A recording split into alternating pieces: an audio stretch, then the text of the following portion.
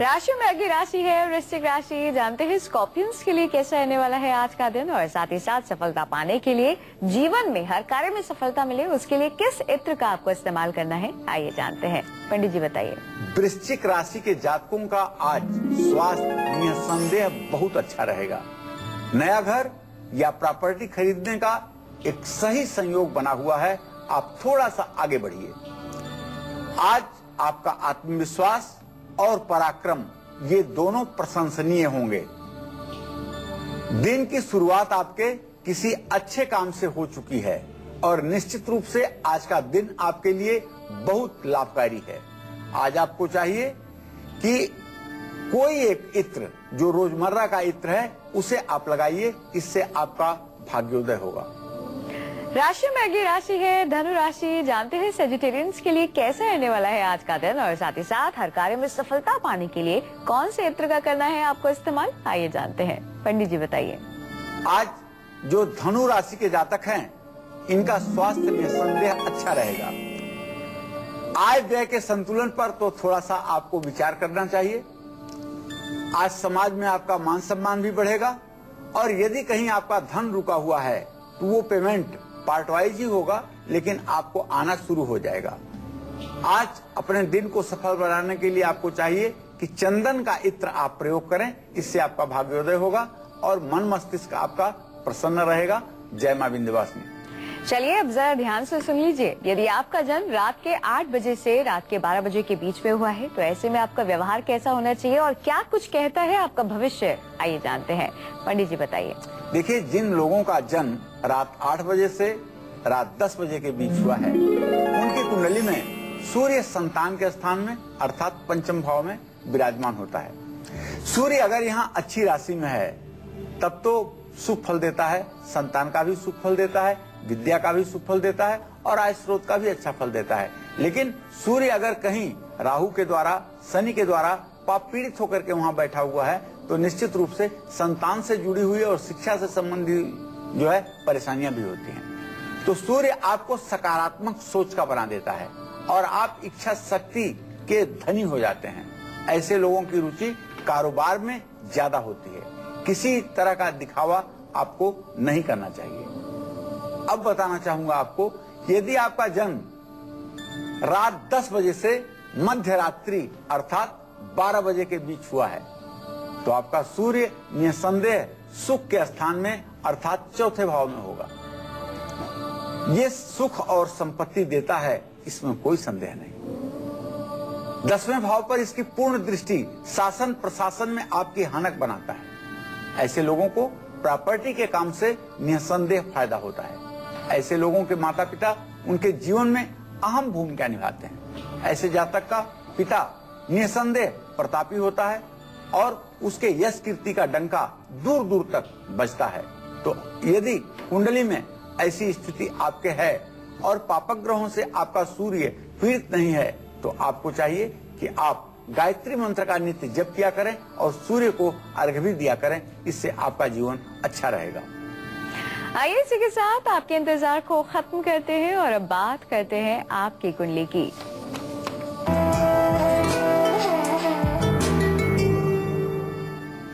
आज के हमारे कुंडली कॉलर है। दिल्ली के रहने वाले मनीष अग्रवाल, इनकी कुंडली इस वक्त हमारे पास है। आइए पंडित से जानते हैं कि इनका भाग्य क्या कुछ कहता है।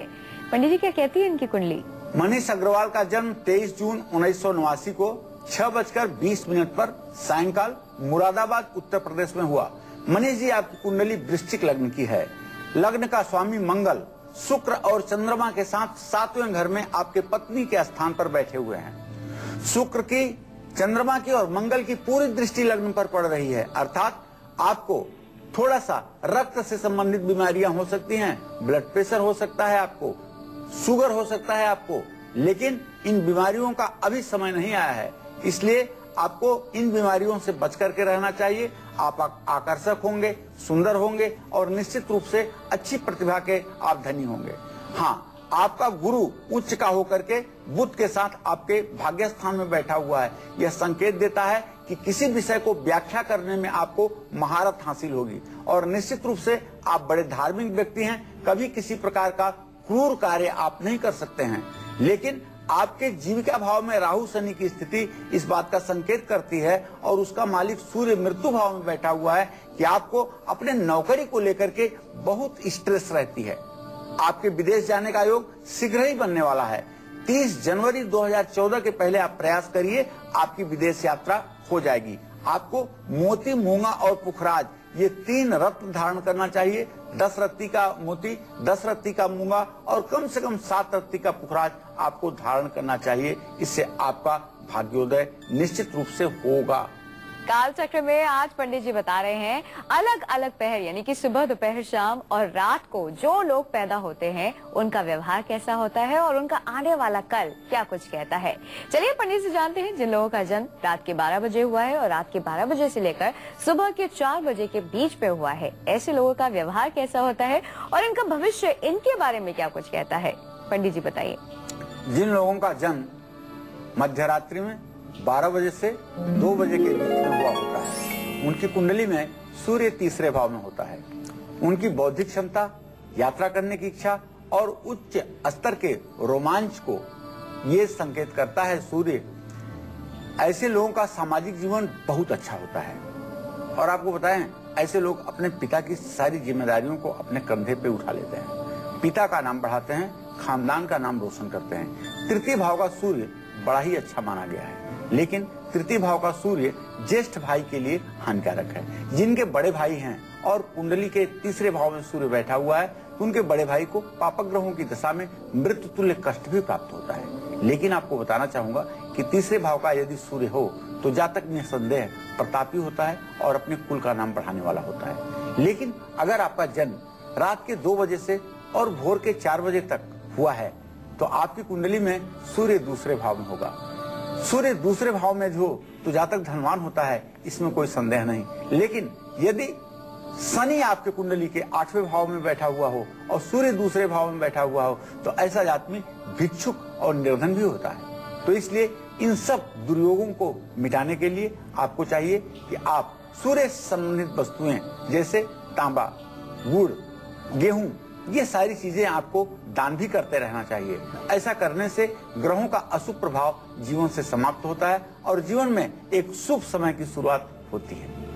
आइए इसी के साथ एक बार फिर से रुक कर लेते हैं राशियों का। बात करते हैं मकर राशि की। जानते हैं कि पिकॉन्स के लिए कैसा रहने वाला है आज का दिन और साथ ही साथ यदि आप चाहते हैं सफलता पाना तो ऐसे में आपको किस चित्र का इस्तेमाल करना होगा ये भी जानते हैं। पंडित जी बताइए।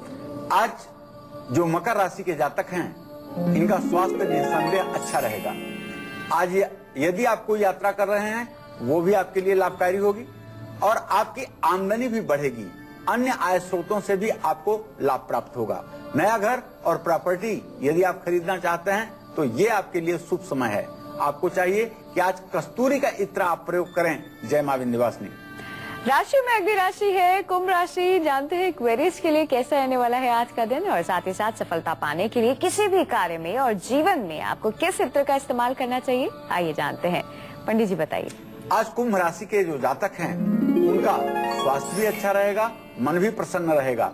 रुके हुए सरकारी कामकाज भी आप चुटकी बजाकर पूरे कर लेंगे, कोई व्यवधान नहीं होगा। आज आपके बच्चों की तरक्की हो सकती है, उन्नति हो सकती है। ऑफ़िस में आपके कामकाज की तारीफ़ होगी आपकी प्रतिष्ठा बढ़ेगी। आज आपको चाहिए कि आप कस्तूरी का ही इत्र लगाएँ या कस्तूरी अपने पास रखें इससे आपका भाग्योदय होगा। जय माँ विंध्यवासिनी बढ़ते इसी के साथ अंतिम राशि की ओर जो कि मीन राशि जानते हैं पाइसिस के लिए कैसा रहने वाला है आज का दिन और साथ ही साथ किसी भी कार्य में सफलता हासिल करने के लिए कौन से इत्र का आपको करना है इस्तेमाल आइए ये भी जानते हैं। पंडित जी बताइए। मीन राशि के जातकों को आज अपने स्वास्थ्य के प्रति सतर्क रहने की आवश्यकता है। आज आप अपने स्वास्थ्य पर ध्यान दीजिए, वरना आपका स्वास्थ्य बिगड़ सकता है।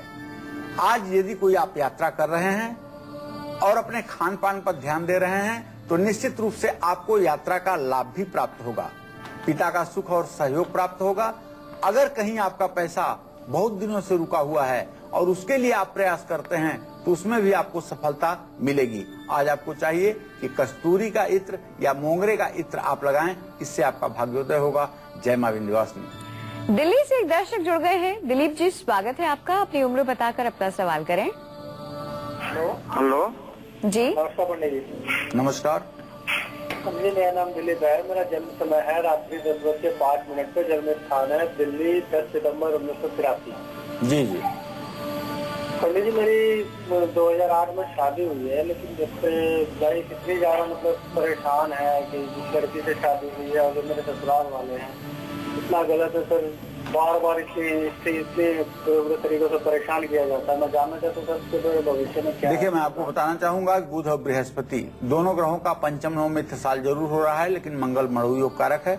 आपके ससुराल के पक्ष के आपके सास साला इन सब लोगों के कारण आपके दाम्पत्य जीवन में काफ़ी खराब स्थिति का निर्माण हो रहा है। इसके लिए आपको चाहिए कि मंगलवार के दिन आप मसूर की दाल लाल कपड़ा और तांबे का बर्तन। चार मंगलवार आप दान कीजिए इन ग्रहों की शांति होगी और आपके वैवाहिक जीवन में एक शुभता का संचार होगा। अहमदाबाद से एक दर्शक जुड़ गए हैं। रामानंद जी स्वागत है आपका। रामानंद जी अपनी उम्र बताकर अपना सवाल करें।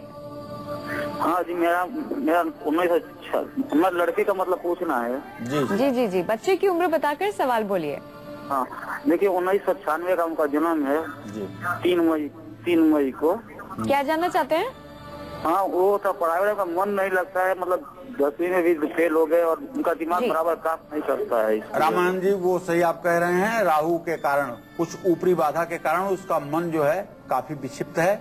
आपको चाहिए कि चार नारियल बुधवार के दिन 12 बजे से पहले उसके ऊपर से बारी बारी से उतार करके चारों नारियल बहते हुए पानी में प्रवाहित करें। ऐसा चार बुधवार यदि आप करेंगे तो निश्चित रूप से उनके जीवन में अस्थायित्व आएगा।